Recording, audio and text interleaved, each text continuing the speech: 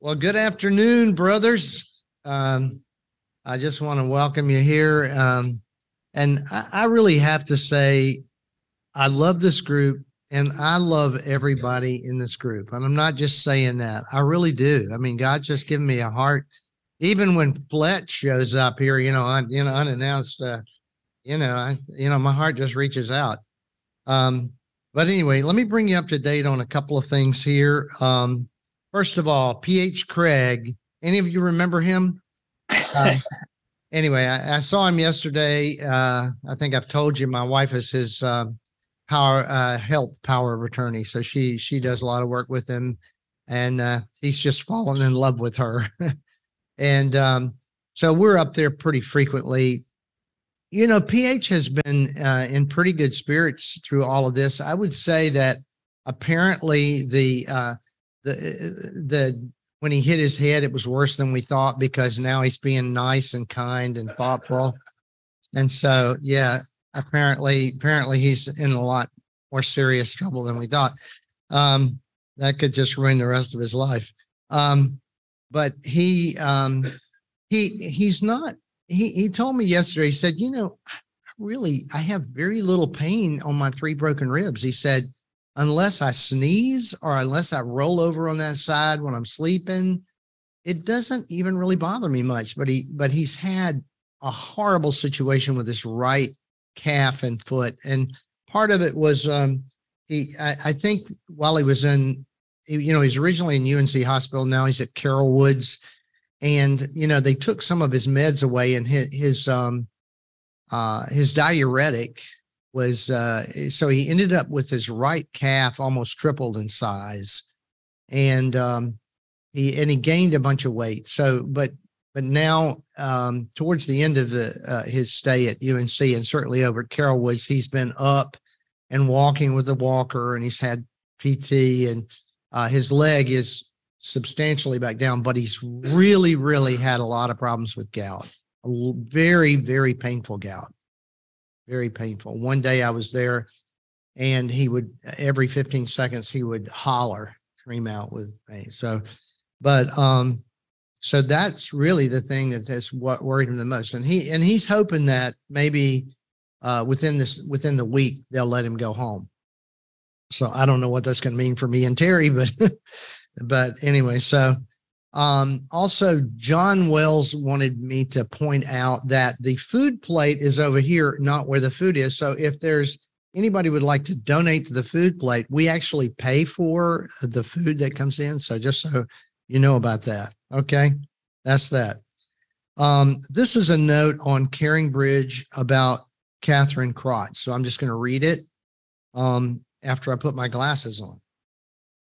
Um, okay. Um, this is by Claire Alley.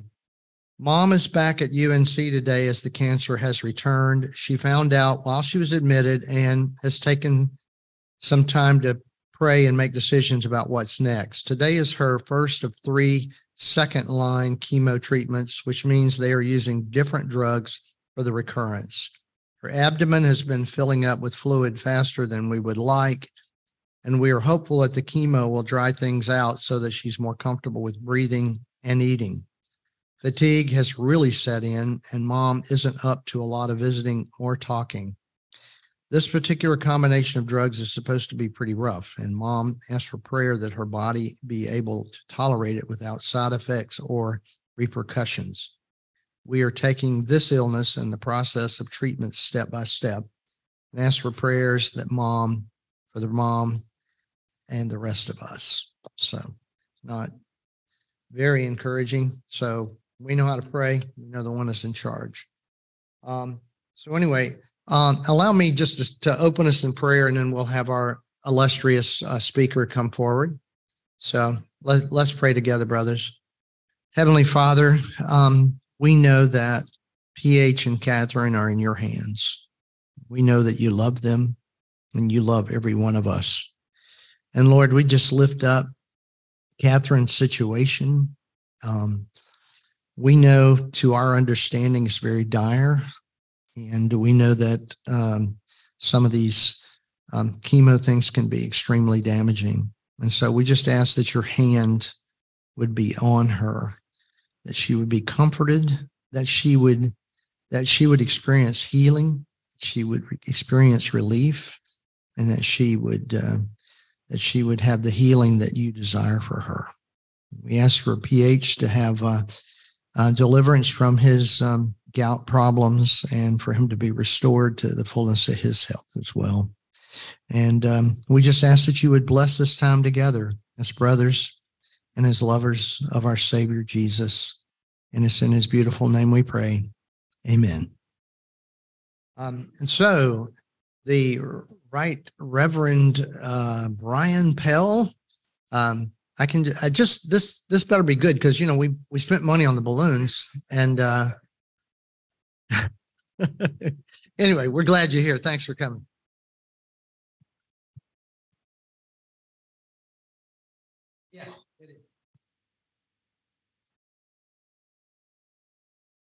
All right, all right. Hi, friends. Uh, I have met most of you, but I don't want to take that for granted.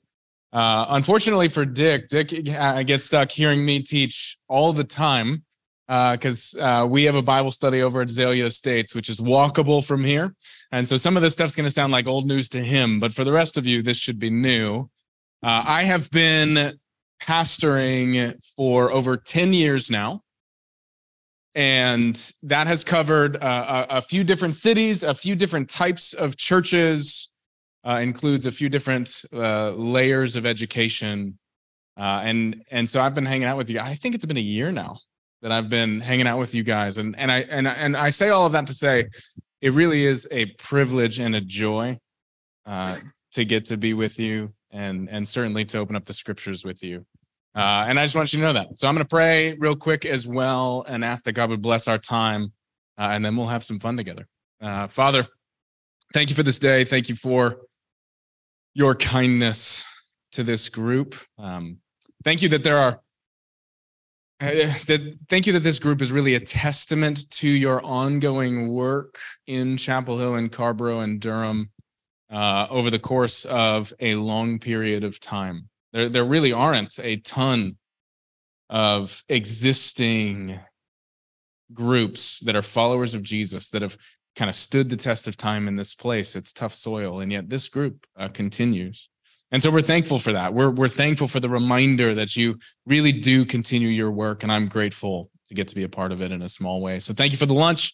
Thank you that we get to study the scriptures together. Uh, we ask that you would bless it and help us uh, to fight off distraction. In Jesus' name, amen.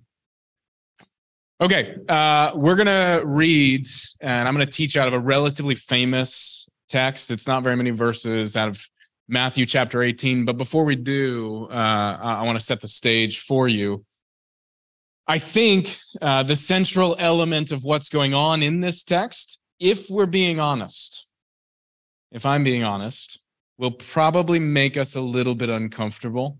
And, and I think that it should.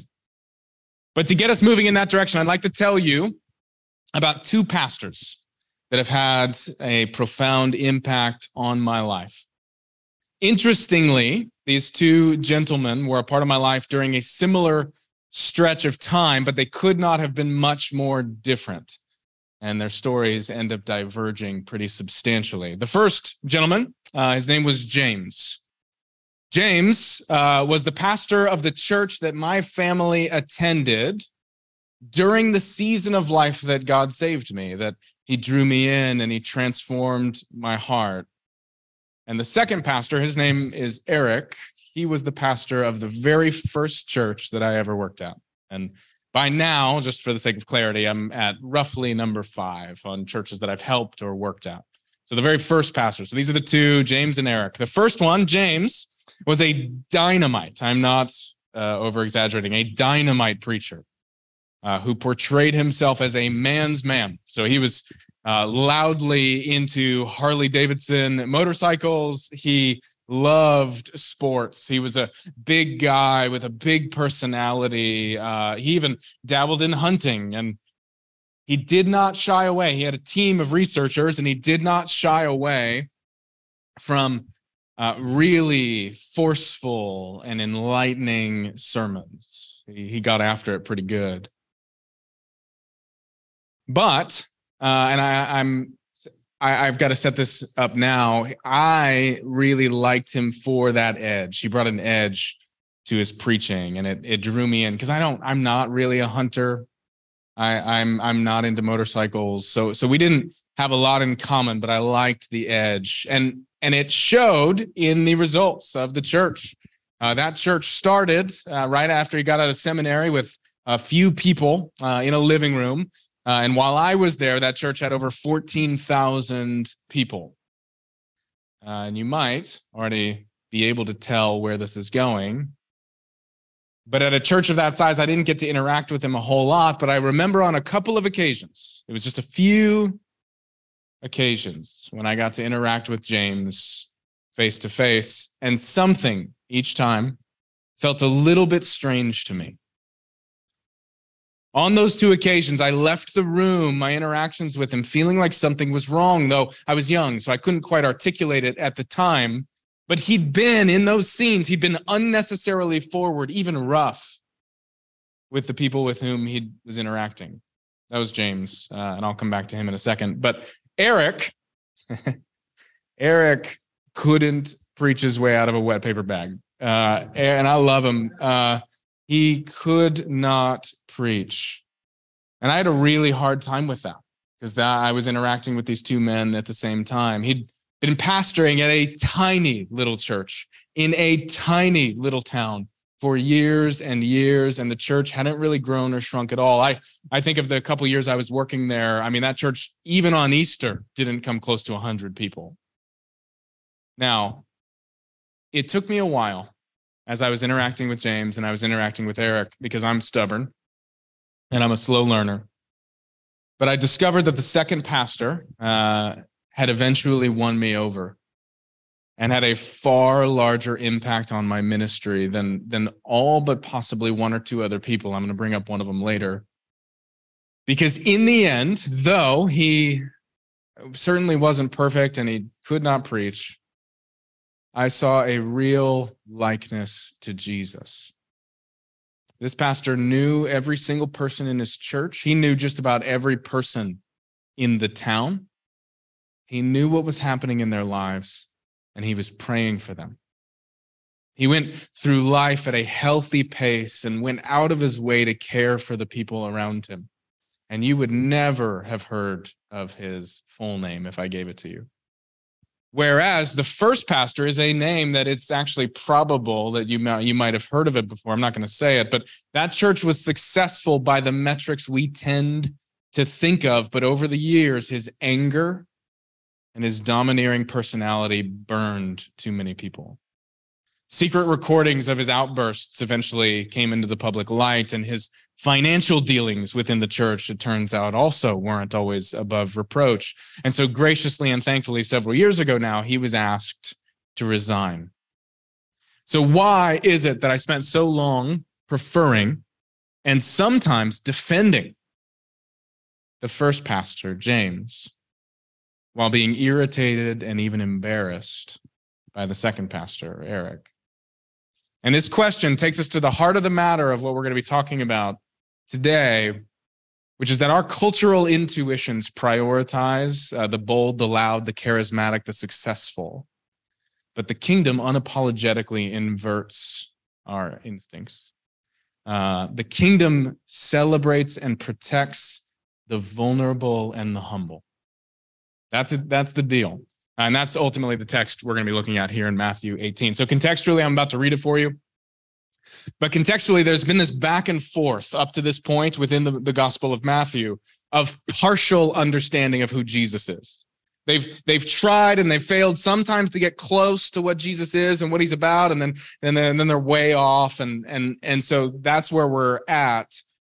There's this key moment where they ask a pointed question and it actually sends Jesus on several chapters worth of teaching. They're they're far enough away from what he's really about that this question uh, dictates the next, I think it's three chapters 18, 19, and 20 are all teachings that are downstream of the question they ask at the start of Matthew chapter 18. So I'm going to read it now. This is Matthew chapter 18, verses 1 through 6. Uh, and for the sake of clarity, I'll be reading out of the ESV in case you notice the distinctions. Here's what it says it says, At that time, the disciples came to Jesus saying, Who is the greatest in the kingdom of heaven?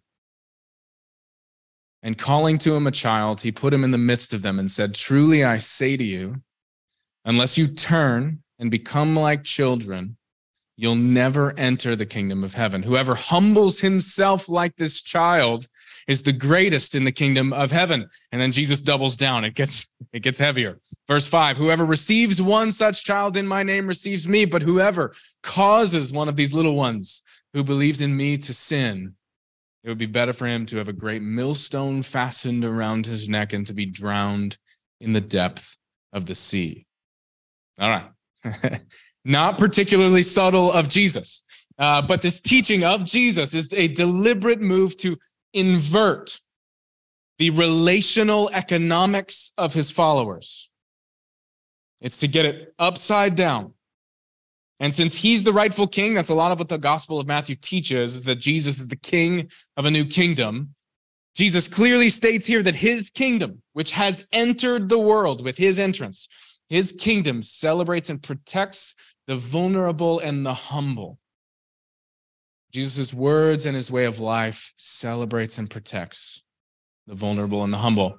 And uh, I'm going to be honest with you, and I hope you'll be honest with yourselves uh, today. I personally find this truth incredibly convicting. Personally, I do, because if I'm being honest with myself, I think the default posture uh, for me, in me, is to pity. And on my best days, empathize with the vulnerable and the humble. But my default posture isn't always what we see here. But I want to I'm going to break down his argument. So, verse 1 again, just for the, what sets this up. Uh, verse 1 says at the, at that time the disciples came to Jesus and their question is who is the greatest in the kingdom of heaven. So we've got to pause here. We've got to bear the weight of this question uh, because there's been some stuff going on behind the scenes. We're one chapter removed from the transfiguration. There's been some stuff where Jesus has pulled Peter, James, and John with him. And so, surely there's a little bit of jealousy going on behind the scenes. There's a little bit of arrogance going on behind the scenes. And so, they want to know. They've been following him for a while. They want to know who is Jesus's favorite. Or, relatedly, they want to know which one of them is closer to being his ideal follower than the others. And so they approach Jesus and they just, they finally work up the courage to ask that question. And all three gospels, uh, Matthew, Mark, Luke, have this story, and there's slightly different variations to each one, but all of them have a version of this story where the disciples are sort of bickering behind the scenes about who's the greatest, who's the smartest, who's following Jesus the best. And uh, Jesus, in each case, uh, answers it kind of uniquely, but they ask finally who Jesus is the greatest, which one of us is doing the best. And that, I think, has got to be one of the most relatable things in the Bible. Because if you are like me at all, then on your car ride on the way home, you will have compared my speaking ability to the other three speakers in this Bible study. You just will. This is in our bones. We do it anytime there's a guest preacher or the backup preacher at our churches. We do it when it's not the worship leader we like. We'll compare and create up a competition. We cannot seem to shake this feeling of comparison and competition. Yet, in Matthew's organization of this gospel, this question sets up eh, like this triggers Jesus to have a whole bunch of stuff to say because they are so far off. The degree to which his followers' instinct was backwards drove Jesus to then have to teach a bunch of stuff. So, this is one of the more painful biblical truths to American ears. Here it is competition and the determination of the greatest is not a universally good thing. It is objectively not a universally good thing. And the reason for that is fairly simple. People, meaning me and you and us, we are often broken and evil. So competition and power dynamics are often infected with brokenness and evil because it is in all of us. And those realities are rarely ever neutral. And we know this intellectually, right? I, so we all love college sports here. I that's most of what we talk about during lunch most weeks. Um, and so I'll, I'll, just be honest with you. Like uh, the last couple of weeks, I'm really enjoying uh, the the sort of downfall of Texas A&M's football situation. And the, the reason for that is not because I've got any particular beef with Texas A&M. It's because they, to, to my eye, abused the new name, image, and likeness rules and bought their roster over the last year. And it is blowing up in their faces. And I am enjoying that quite a bit. And it feels like the NCAA now, a lot of their goal is just trying to figure out who's cheating and and trying to keep stay on top of the competition. And the reason for that is because our motives and our actions in pursuit of competition and in pursuit of power can be broken and they can be evil, hence Texas A&M. And that's what's happening here. The disciples are jockeying for special position and privilege with Jesus. They're arguing with each other about it behind the scenes.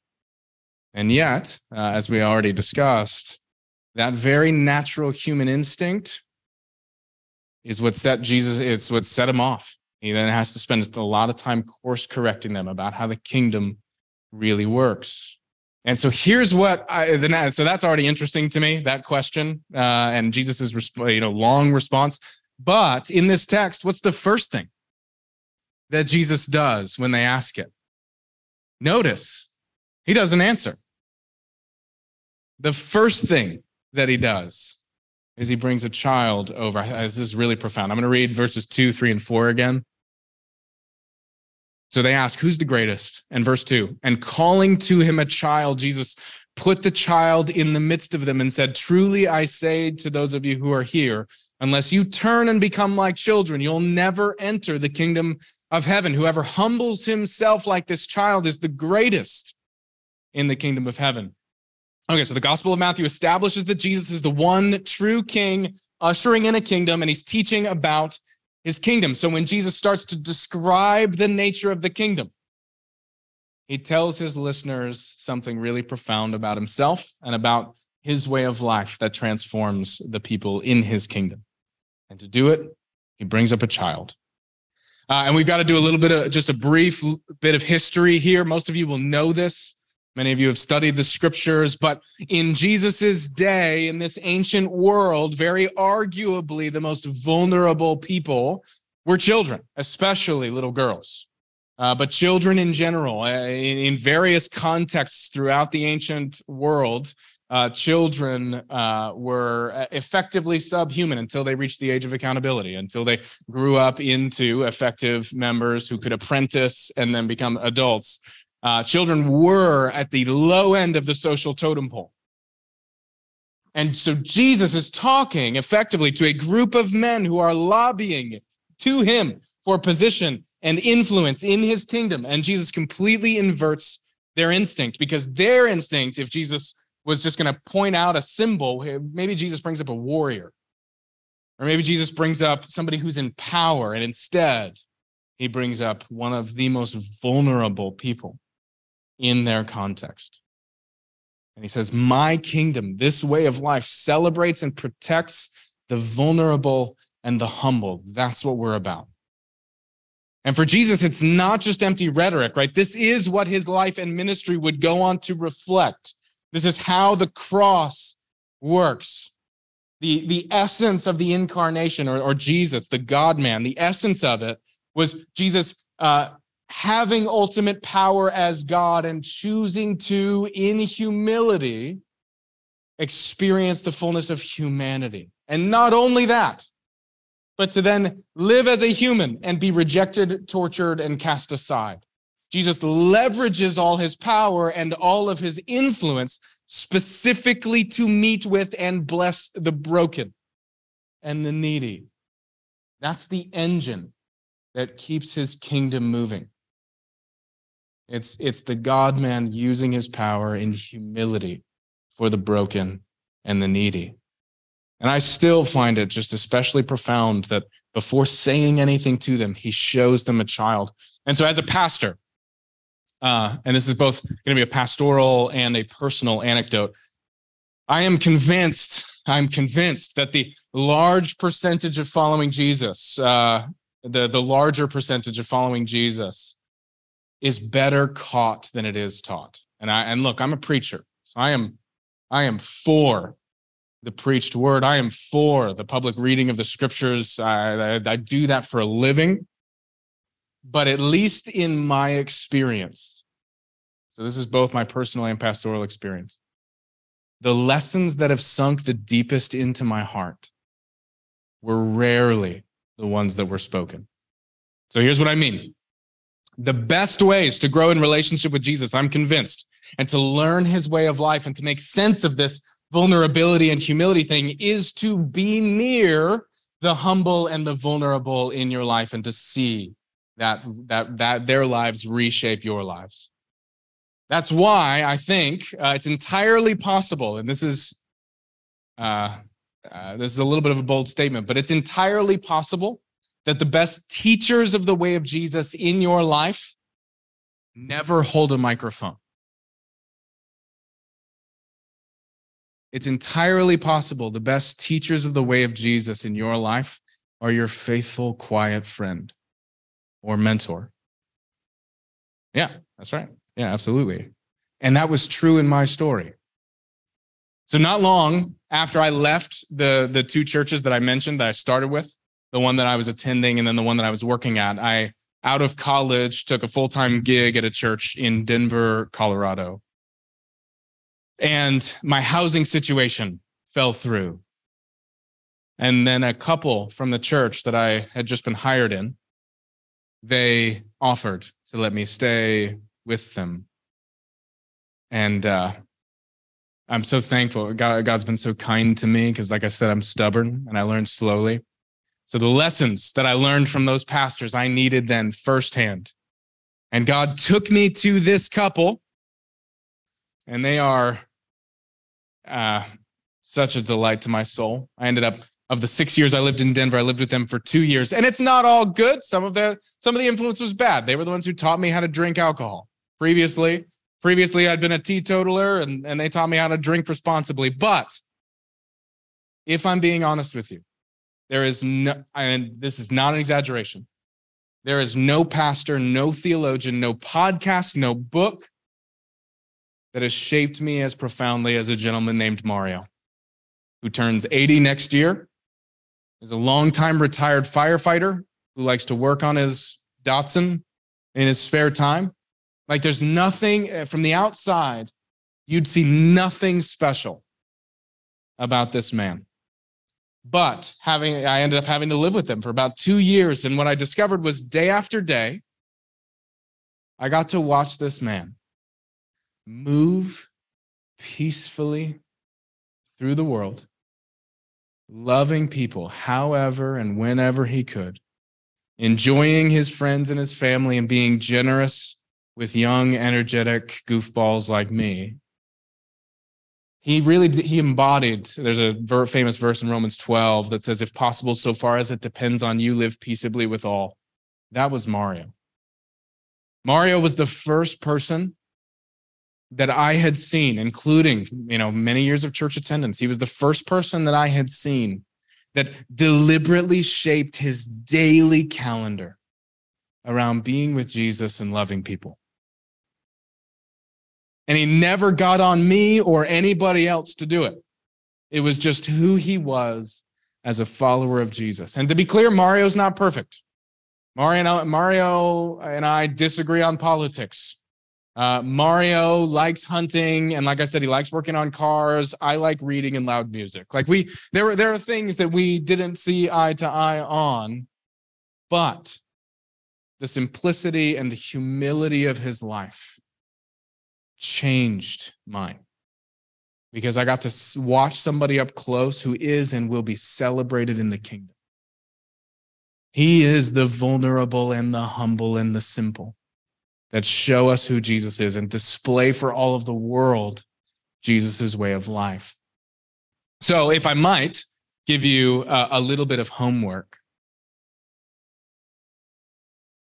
I've got to ask, and and I even want to backtrack for a second because I don't want to assume something.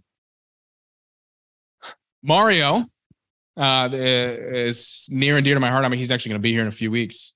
He was one in a. I was pastoring in a church of uh, mostly old white conservative people. So it was mostly 60 to 100 old white conservative people.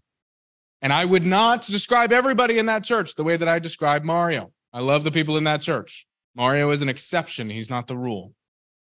So I say that to say this Who in your life, who in your church, who in this Bible study, who displays the humility and the gentleness and the vulnerability that Jesus describes. And here's my homework for you find that person and be near them as much as you can.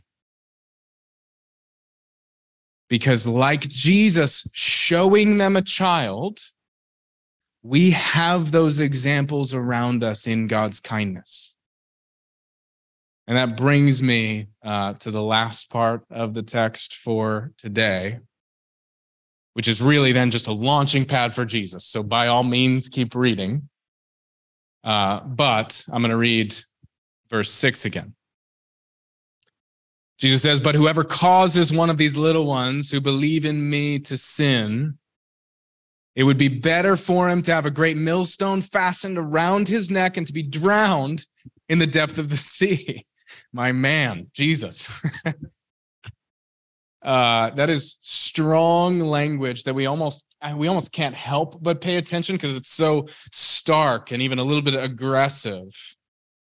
But we know Jesus has been clear that the kingdom of his kingdom celebrates and protects the vulnerable and the humble. And we see it plainly. He doubles down here. He says that anybody who causes somebody like a Mario the person in your life who's humble and vulnerable, whoever causes that kind of person to stumble, they'd be better off drowning, which is a bold thing to say. I mean, it's hyperbole, but it's potent language. And Jesus uses it as a springboard uh, in verses seven and eight, which I'm not going to read for right now. But verse seven focuses on the world and the world imposing stumbling blocks. But then there's another famous verse about if your hand causes you to sin, cut it off.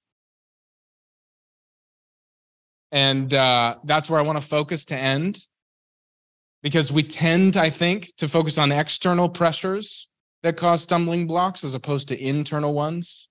And I want to I want to close our time looking inward again. Somebody I, I admire recently said, the vast majority of Christians are educated past their level of obedience. He says, if you would just do what you already know, your life would change. And he's right. And we see this uh, in the Gospel of Matthew. The primary enemy that we have to this way of Jesus is ourselves. And I don't want to let uh, church folk in particular off the hook on this. One of my least favorite trends within American Christianity broadly, and I'm going to sharpen the critique to, to me. One of my least favorite trends among American pastors is the infrequency with which we own our own mess, the problems we create, the bad decisions that we make. Part of the reason uh, that I began this uh, this teaching with the illustration of the two pastors at a key time in my life is because we as Christians, I would argue, we are as susceptible as anybody to the question of who is the greatest. And we will build platforms and large churches and huge Bible studies potentially to buttress our commitment to who we believe is the best and the greatest. And the first pastor I mentioned, James, was a roaring success by most mainstream standards. But in the end, he wounded thousands of people and did not consistently display the vulnerability and humility that Jesus does. And the second pastor I mentioned, Eric, was just making ends meet in a small town, faithfully loving people. We are often wrong. I am often wrong. Pastors are often wrong about which of these two things is more desirable. And as a result, we've been the one. I have been the one for whom Jesus would have these strong words. And so it's important you hear this from somebody who pastors. The kingdom, what we're about, prayerfully, celebrates and protects the vulnerable and the humble. And to land the plane on this uh, teaching, I'm at just about a half hour, and then we'll open the floor. Um, to end the this time, I want to double down on the Mario anecdotes because uh, he's just he's a hero within my story. It's he's God's kindness to me. When I went out there to work uh, in Denver at the time in student ministries, Mario was in his early to mid 70s, so he's not a spring chicken. And we had all of our student ministry shenanigans you know dodgeball fights uh trips to the sand dunes. Um i could go on you know um um what are the lock-ins where you stay up all night all all the kind of things that you do when you're in student ministry. Guess who was consistently the first person who would sign up to be there? Yeah mario. Years later as I was leading the church, so our church went through a lot of really hard times, uh, including our senior pastor having an affair with the choir director. And there's a whole story with that. So there was a stretch where I was leading this church, and there was a faction within the church that was really angry with the previous pastor and then with the transitional leadership team. Guess which one of our people uh, was willing to go sit with them at great length and listen and be present yeah, it was Mario. Right? The kingdom celebrates and protects the vulnerable and the humble. So that's your homework. Who in your life? Who has God given you? Where what are the pictures around you of this true kind of vulnerability and humility? Um, and the question, so I'm going to close in prayer and then I'll open the floor. I'd actually love to hear from you on who is your Mario, if you have one. And I, who has displayed for you time and again the humility and the vulnerability that Jesus celebrates here with this child? All right, I'm going to pray and we'll open the floor. Father, thank you for this day. Thank you that you're honest with us. Uh, thank you that you speak to some of America's idols. You really speak to all of them. But today, you've reminded us that the pursuit of competition and comparison is not a universally good thing. In fact, it gets us into trouble. It gets pastors into trouble. And so we're thankful for the reminder of your vulnerability and your humility. And then we're reminded, we're so thankful of the reminder that you showed a child to these disciples.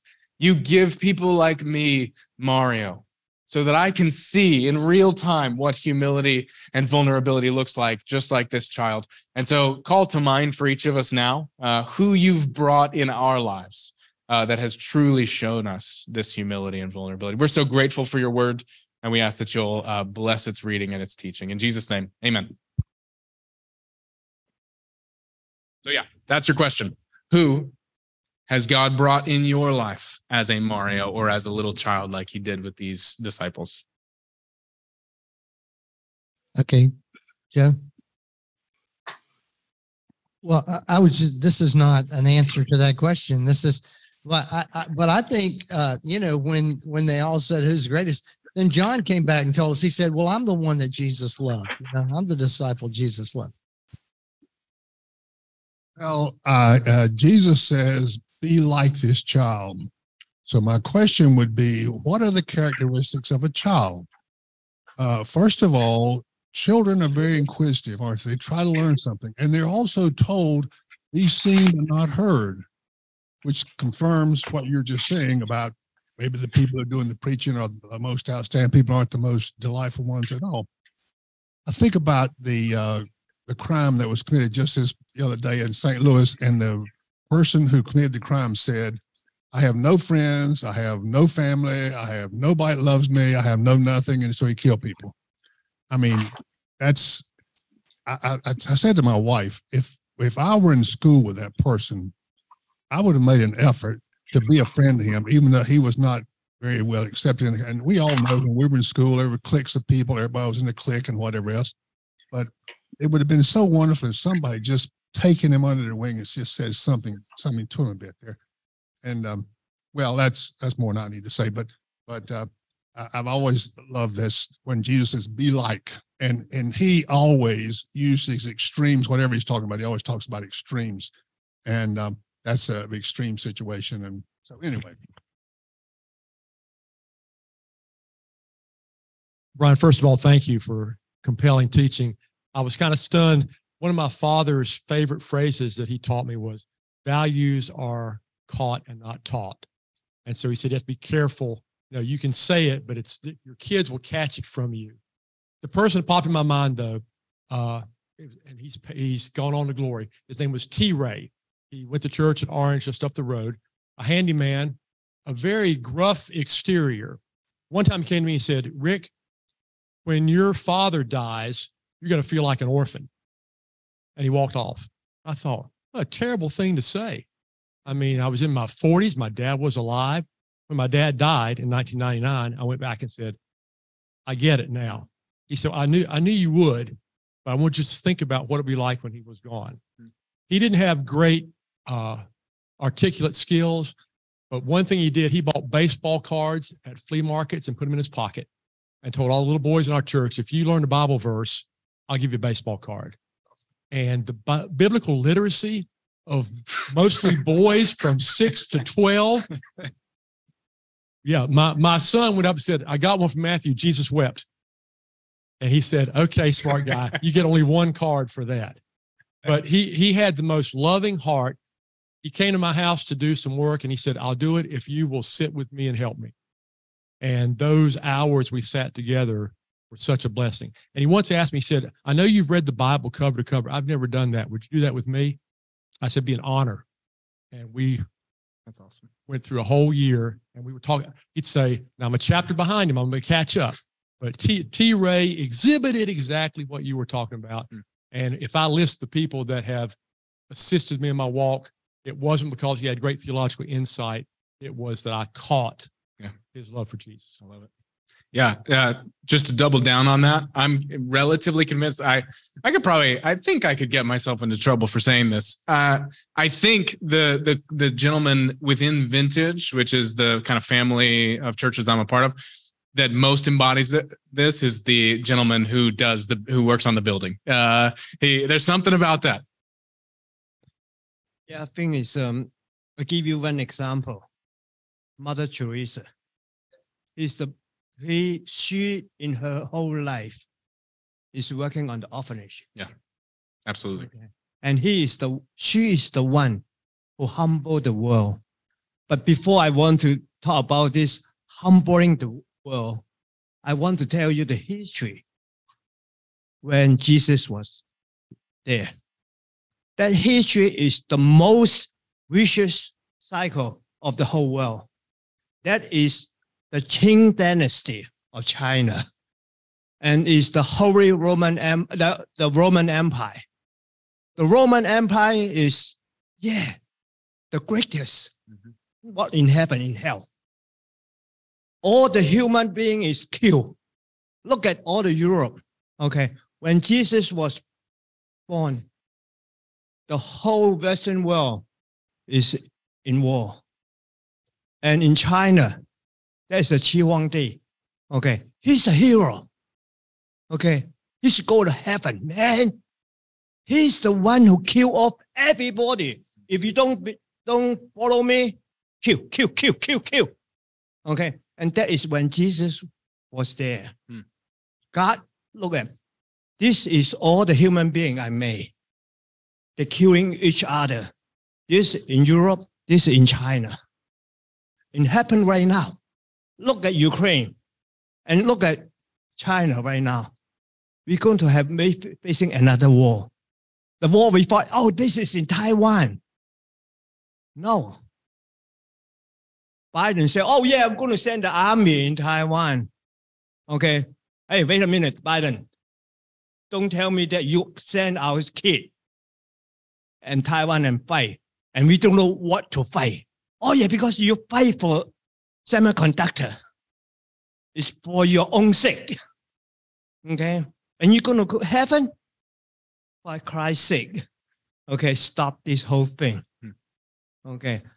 Let's have peace. Appreciate that. Yeah.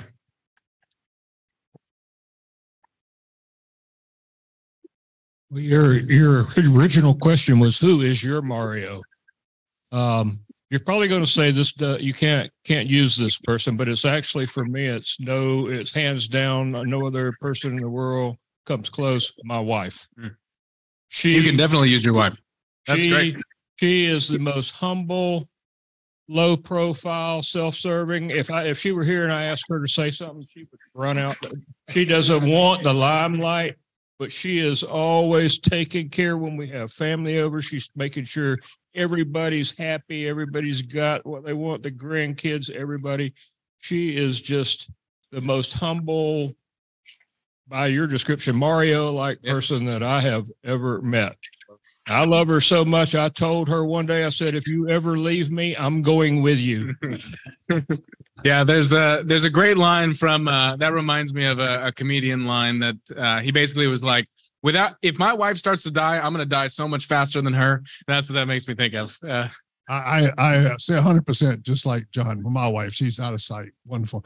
But I remember when we visited, some of us visited the Billy Graham Museum and there was a, an interview in there with James Bakker, who was a big preacher in the early days and made tons of money and, and fell and went in, ended up in jail. Billy Graham visited him in jail. It was here. And I thought that is, that's what you call a Mario. That's a person who sees somebody who's, who's fallen by the wayside, but yet you go and forgive him. And I'm Bakker said that was the greatest thing ever happened in his life, really. Listen, by the way, I would say, I hope you come again. This has been wonderful. You've done a Thank you. great job. that's kind of you. Eric on Zoom. You Okay. You have a Zoom that would like to speak? Eric? Go ahead, Eric. Yeah, good afternoon, brothers. My first mentor in my life,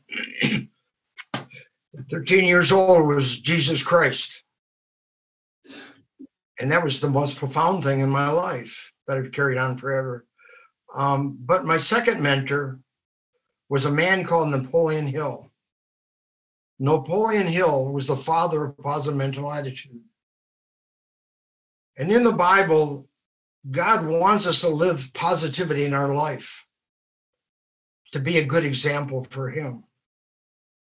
And I've um, I teach a leadership positive mental attitude, and I'm 78 years old. And Napoleon Hill, when I was 16 years old, asked me to make a promise, and that promise is, Eric, I want you to pass on positive mental attitude the rest of your life.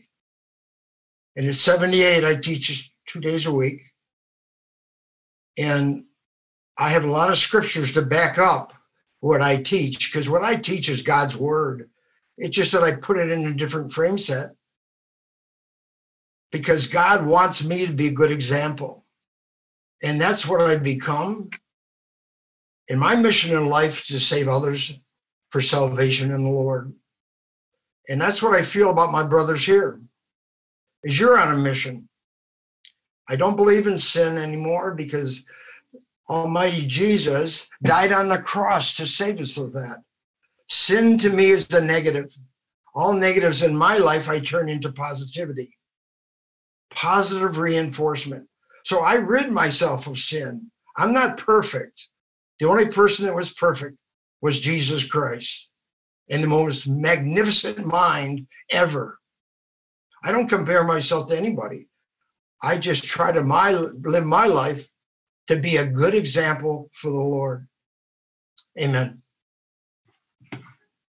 While um, Eric was talking, I just wanted to remind you, um, Eric, he's 78, and he walked outside and saw a bull mastiff. If you've ever seen a bull mastiff, I looked them up. They're big, mean, muscular dogs. Was on, uh, I don't know, a, a two or three, four year old kid, and was uh, shoot trying to chew his chew his face off, and he ran. He knew that he knew that he was it was going to take everything that he and the Holy Spirit could do, and he went over and just beat the living tar out of the dog, and saved the child. And um, I guess he broke some dog's bones. I called him later and asked him, uh, you know, of course they put the dog down, but it chewed the child's mouth off, and uh, the child's going through a lot of reconstructive things. But the child was saved because Eric took a very, very dangerous charge and said, "I'm going to fight to the death to save that child." And I, I really admire, I admire what you did, Eric. I admire it a lot. Well, God gave me the strength because I have strength so powerful. Um, because I was an Olympic coach, I was a real Olympic wrestler in the Hall of Fame. And I always waited for a day that I would have to call on the Lord for more strength than I had. And that's the thing that worked for me was I always turned to Jesus for more strength. And you couldn't ask for more strength than from the Lord. Amen. Amen. And I would tell you guys, look up a picture of a bull mastiff when you get home and see what he did.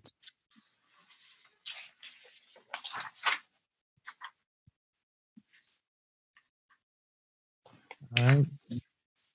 Fred, Fred's clicking off. Willie, thanks for joining us today. You know, it's the first time I've seen you with the camera on. Uh, you're kind of backlit, but uh, you know, that might be the best you've ever looked. Can I, do you mind if I just close this out in prayer? I don't know. Be all right? Okay. All right. I'm going to pray for us. Father, thank you for this day. Thank you for friends. Thank you for food. Thank you for your scriptures. Thank you that you love us. We're so grateful that we get to do this. Uh, we ask that you would uh, meet with us uh, in the rest of our day. Ta- uh, use this word uh, to equip us as we go, uh, to, to live humbly and vulnerably, to see you in the lives of others around us, uh, and help us to love this place well. In Jesus' name, amen.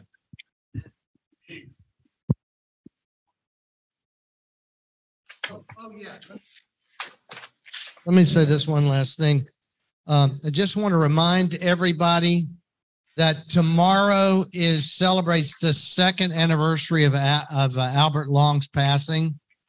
So um, just as a reminder, so uh, if anybody wants to reach out to his widow or uh, uh, or just um, be in prayer for his family, it'll be a, the second anniversary of his Albert Long's passing. Okay. God bless you.